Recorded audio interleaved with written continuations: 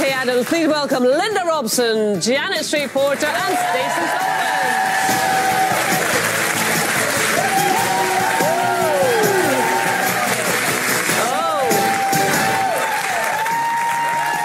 On today's Loose Women, we'll be asking whether classroom discipline has gone too far, as one school proposes making naughty pupils do community service.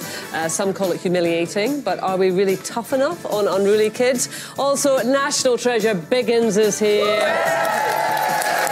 We do love a bit of Biggins. oh, look at him, he's happy. Hi, Biggins. uh, but he's going to be telling us why a recent health scare made him clean up his act. He's even lost a stone. He is looking good. Uh, as a former king of the jungle, he'll be giving us his verdict on this year's I'm a Celebrity Stars. And from fresh faced boys to bidding farewell to their 25 year career. Oh, Boyzone are here to talk growing up.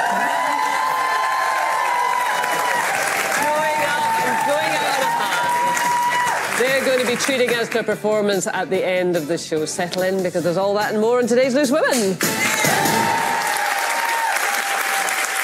Uh, now, ladies, if you wouldn't mind just uh, checking your seats here because I've got some accessories uh, for you. If we could all just get into the mood here. this is good. Oh, my head's too big, it won't go My on. head's too big. Stacey, that's looking good on you, love. Well, I don't- Very nice. Very nice. I'm not. Fit. I've got Are my we own all mic. right? a bit Right, big. that's Janet. Oh, it won't go over your head.